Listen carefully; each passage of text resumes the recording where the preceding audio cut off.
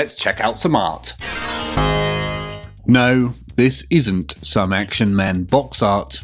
This is Warhammer 40,000. Now, as a child, I was never really much of a fan of Action Man. I didn't really like the scale.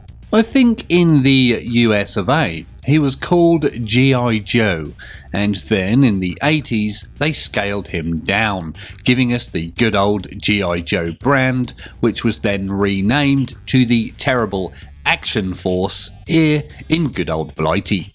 Do you think this one's got the little button on the back of his head to move his eyes? I think that was known as the Eagle Eyes Action Man. Now, as this is set in the 40k universe, what do you think this is? Is it a Space Marine scout, perhaps? Or maybe an Imperial Guardsman? Now, I notice he is wading through the ditch. I do hope those trousers of his are waterproof, or else he's going to end up with soggy knickers. And nobody wants that. I really like the colours on this piece. It reminds me of some old wartime comics I used to read as a youngster. I've no idea where I got hold of those. Now, the man in the picture, be it either a scout or a guardsman, reminds me a little of Jai Courtney. Whatever happened to him? Apart from Spartacus and Suicide Squad, he seemed to sort of vanish. Maybe he is still out there, and I'm just not paying attention. I'm sure one of you will know. Now, if you look at his face, you'll notice there's some lines running down it. Are they scars or beads of water from all his splashing? On the front of his chest plate or body armour, whatever you want to call it, are some little pouches. They look perfect for holding his Game Boys. One is a colour Game Boy, the other is an OG. I'm actually in the market for an OG Game Boy, so if you've got one you don't want, then please let me know. His forearm armour is quite strange looking, isn't it? It looks sort of thin, and then it has a big bulbous part. For what? His muscles? An Easter egg dispenser? Who knows? Now, are you able to tell me what weapon it is that he's carrying? I would assume it's an auto gun or las gun variant, but you never really know with these old pieces of artwork. My name's Marcel, and this is Snakeworks. I fancy doing some swamp based Imperial Guardsmen now, you know? I guess Catachans are pretty much the same sort of thing, but with added water effects and mud. Oh, cover your eyes, folks. We appear to have a half naked Eldar here. So, this is an interesting cutaway diagram of an Eldar, or an Aeldari, as they're now known. Why did they change the name again? The head shape is a little different to what I always imagined. I always assumed the Eldar were just like humans with pointy ears, like Vulcans. However, this one has almost cat like eyes. They're huge, and I'd like to see more of this. Well, it's either that or he's just got really good eye makeup on. The rest of the Eldar's naked body is rather standard looking. I wish I was as toned as that. Sadly, a lack of exercise and sleep is preventing that right now, but I'm sure we'll get back on top of things soon. Anyway, for some reason, the Eldar in the diagram has the biggest piece of shoulder pad armour I've ever seen.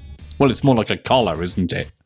Does this armour exist on any Eldar miniatures? I don't think I've seen it before. Am I missing something here? The armour style itself is very sharp looking, isn't it? I get more of a Dark Eldar vibe to it than your normal Craftworld Eldar. What's the current term for Dark Eldar? Drukhari or something? There's a lot of little symbols dotted about the piece, pointing to various pieces of the armour. Do you recognise any of them? What do you think they could possibly mean? One of them, pointing at his bicep, is a stick man and that's awesome. Welcome, comrades, to the war zone. Okay, so at first glance, I have a hunch that we're looking at a few Imperial Guardsmen, or Imperial Army men, as they were known during Rogue Trader. Or was it Trooper? Anyway, I do, however, think that the flip down helmets are different to what the usual Imperial Army troopers had, but it's possible again I'm wrong, as they might have actually had them. Now, I'm sure you're all used to Imperial Guardsmen having las guns or auto guns at a stretch. This gun appears to be neither. Whatever it is, does have an awesome looking barrel. The chap to the rear appears to be mouthing a warning or perhaps giving orders. He's clearly motivated by something they can see outside of the frame. In the background, we can see some sort of tower. Is it a sentry tower? Is it for keeping people in or out? It's very primitive looking too, although the little radar dish on top does add to the sci fi theme. Do you think this army is on the attack or the defensive? You decide. The presence of the tower says to me they're probably on the defensive, but that tower could quite easily belong to the other side in the battle. Now, when I first saw this picture, I actually thought the black wisps in the background were tornadoes, but upon closer inspection, I think they're just burning wrecks or ruins. You can see those ruins in the background too, this area has clearly seen a lot of combat. Now, regarding that sentry tower, it's actually just like one I made when I was back at school in the 1920s. Sadly, I think it got thrown out with all of my other Warhammer stuff when I became a late teenager. Or was I a mid teenager? Never can remember. Such a waste. Here we see what I'm pretty sure are Space Marines, the Angels of Death. This piece, like a lot of the art featuring Space Marines in Rogue Trader, is in a very grim dark style. A very strange style. I don't know how you really describe it. Grim dark or just something else. Now again, as per usual, the Marines are wearing what we now know as Mark 6 armour, although these suits are very stylised. They don't quite look right. They look a bit more bulbous than usual. Normally, Mark 6 armour has just a few bonding studs on the left shoulder plate, but these, these have loads. They look a bit more like buttons. One of those shoulder pads is even more strange. Not only does it have loads of studs and overlapping plates, but it also has a little oval cutout with what looks like a beetle shell showing through. That's very odd indeed. Either that or it's an 80s car air vent. There are also a lot more cables and pipes on the Marine's armour. This time it gives me sort of HR Giger vibes. I'm sure the man was a huge inspiration for artists around this time. The weapons being carried are really rather weird. All those bulbous parts and chamfered tubes reminds me of wasps' nests for some reason. Wasps' nests look hideous to me, but they're also magnificent and beautiful in their construction. In the background, there's yet more Marines. I think we're looking at a squad. However, the one in the middle has a very interesting looking chainsword. It looks like a Christmas tree. He's also standing next to a rock formation that looks a lot like the ones on LV 246. Or is it 426? a sort of ball on a stick protrusion. This here is a very famous picture. You should feel honoured to see such a historical artifact. So, what you're looking at is an Inquisitor, but not just any old run of the mill Inquisitor. Oh no, this is Inquisitor Obi Wan Sherlock Clouseau. Did you manage to get all the references there in the name? We have Star Wars, Sherlock Holmes, and Detective Clouseau from what I assume was the Pink Panther. Our Inquisitor has a very angry expression on his face. Maybe it's because he just found out what his name is. Now, a lot of the characters and artwork in Rogue Trader are based on real people, usually staff members. Is this one of those pieces? If so, who do you think this is based on? On the top of the Inquisitor's head is what appears to be a shower of sparks, or some sort of aura effect. What on earth is going on here? Is it a visual indicator of his psychic abilities? What is interesting to me is that crenellated crop top. I've never seen one of those before or since. It even has a lovely yin yang symbol on it that used to be all the rage. Don't see them so much these days, do you? Now, we used to draw yin yangs all the time at school when we were supposed to be working. People also did that weird S shaped thing. I prefer drawing stars myself. Now, I have to admit, the first time I saw this piece or pieces, I thought we were looking at two different things. But as it turns out, they're meant to be two of the same thing. The one on the left, I think, is the dead version. So, what we're looking at here is a sand clam. Yep, a clam.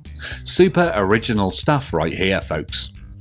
In its alive form, it looks like some sort of veiny, fleshy sack with little claw like legs. Nasty.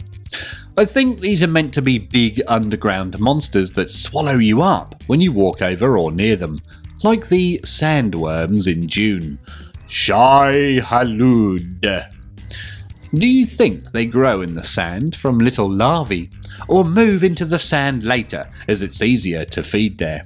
I feel I need to know more about them. At the end of the day, it's just a big bivalve, isn't it? Maybe people like to catch and eat them, like oysters. Have any of you ever eaten an oyster? If so, what did you think? I do wonder if these ones have pearls. If they did, they would be massive, worth a fair bit in the Warhammer 40,000 universe, I reckon. In this next piece, we have a couple of Space Marines. These Space Marines appear to be interacting with each other, having a chat.